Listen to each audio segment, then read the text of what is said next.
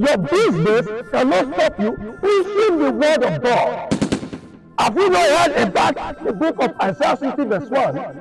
Who says, Arise and shine, for the light has come, and the glory of God